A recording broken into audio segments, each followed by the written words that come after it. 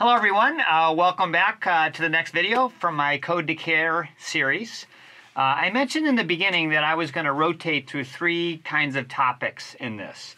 The first being kind of educational videos on AI and ML, uh, the second topic being use cases, and the third topic being safety, risk, ethics, validation, that sort of thing. So I'm on that third rotation. So I'm going to talk about patient safety, uh, and safety practices in AI in this particular uh, video.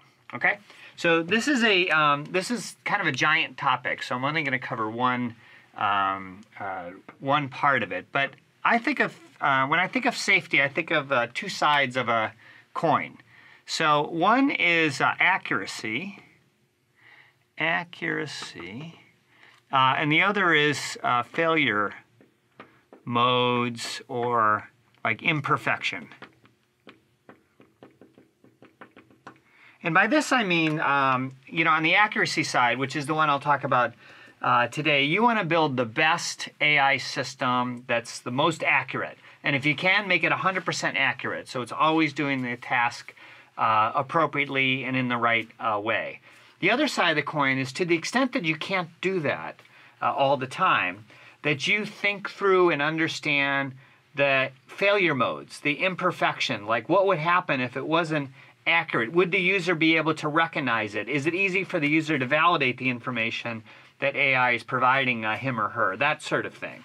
So, kind of thinking through driving accuracy as uh, high as you can, uh, but then also thinking through uh, what if it's not, and how that uh, how that looks to the user. And there are a variety of design techniques we can use on the right side of this uh, as well. But uh, that I will do in a future video. So I'm going to talk about accuracy uh, in this one. So, um, so the first thing, let me give myself some space here.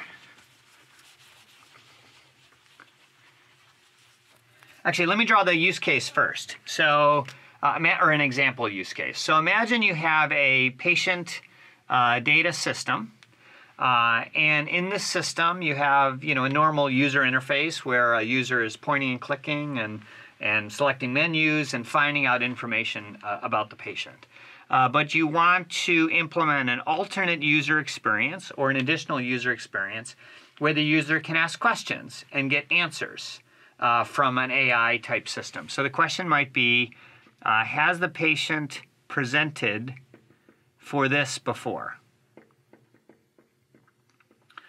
And the system will look through the chart or look through the information and answer the question. So it's a generative AI uh, use case, uh, and it's answering very important questions um, about uh, about the patient.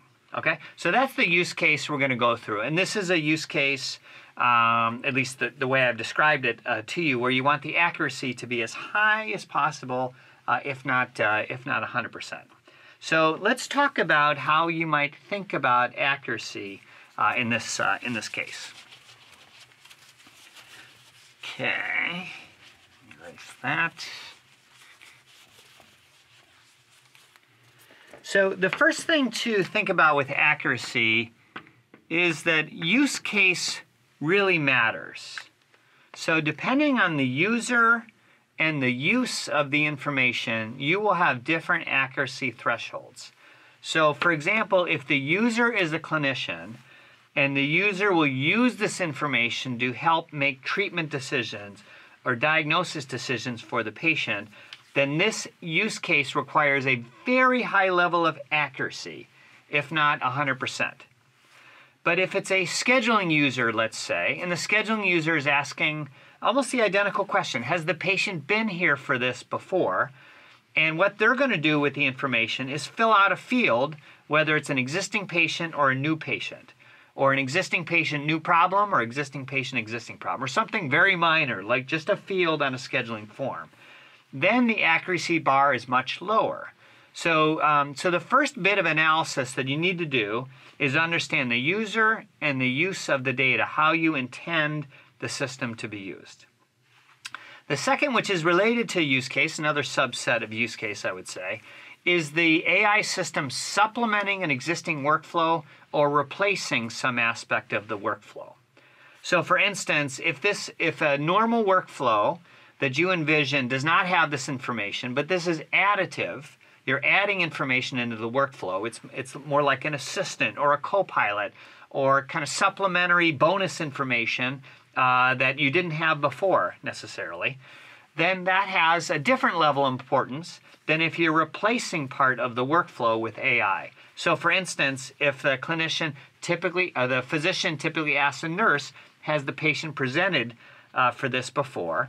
Uh, and after, if after you deploy the AI system, you envision the physician not asking the nurse anymore, but just using the system, then it's replacing a piece of the workflow.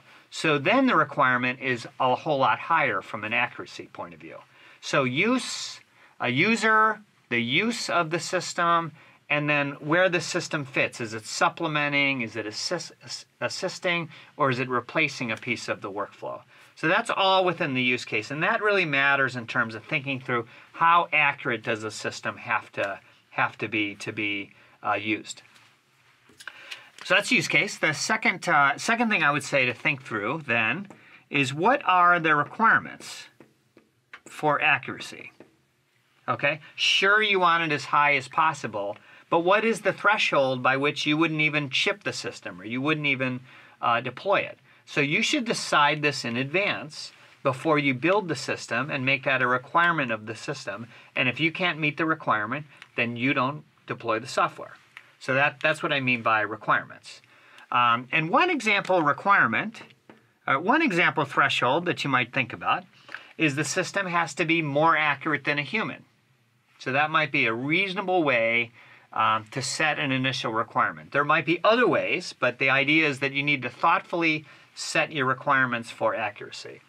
So let's say you do choose that. You say this system has to be more accurate than humans doing this task.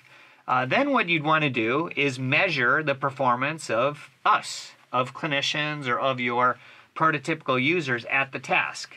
So for instance, if you wanted the system to answer this question, has the patient presented before, then you might take 100 cases in a group of clinicians and have them answer the question with real patient information and see what accuracy they get.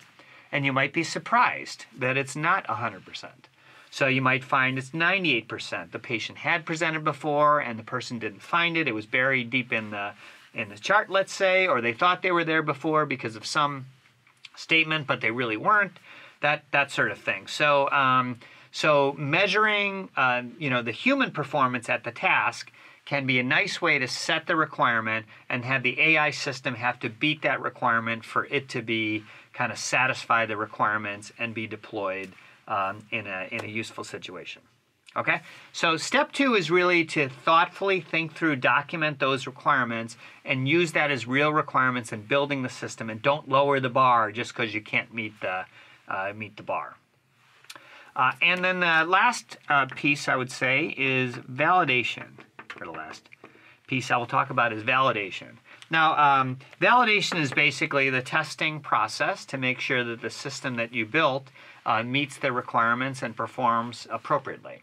Um, valid the and that's that's not actually too different with generative AI, uh, except for one thing. There's a giant variety in input and a giant variety in output. So your test cases have to be a whole lot bigger. So for instance, on the input side, you know, our normal user interfaces of point and click and drop down have a very constrained input side. There's only so many ways that a user can kind of navigate and answer a question. But with an open text box where they can ask the question in any manner that they want or ask a series of questions in any manner that they want, there might be 50 ways to essentially ask the same question. And so you need to have a, uh, a broader variety of, of validation scripts basically to ask that question. And then on the output side, there might be hundreds of equivalently similar or equivalent ways that the system can accurately respond to that question. And so you need to test uh, for that. And so there's just the, the, the theory is the same on the validation, but the amount of test cases the amount of variety is much bigger for you to validate um, that the system is indeed meeting the requirements, that it's safe to use, that it matches the use case, that sort of uh, that sort of thing. So that's what I wanted to cover for accuracy. This is obviously centrally important to creating a safe system, to have good requirements, to have to build a system that exceeds those requirements, and you drive accuracy as high up as you as you can. But you especially take into account the user, the use, how the system is going to be used, all those sorts of things when setting and meeting those requirements.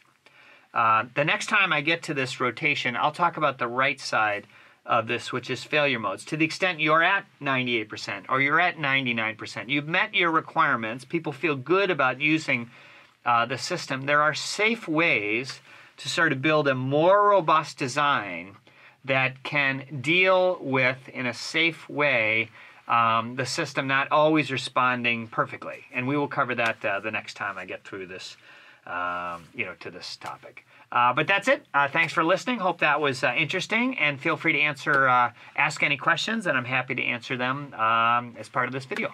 Thank you.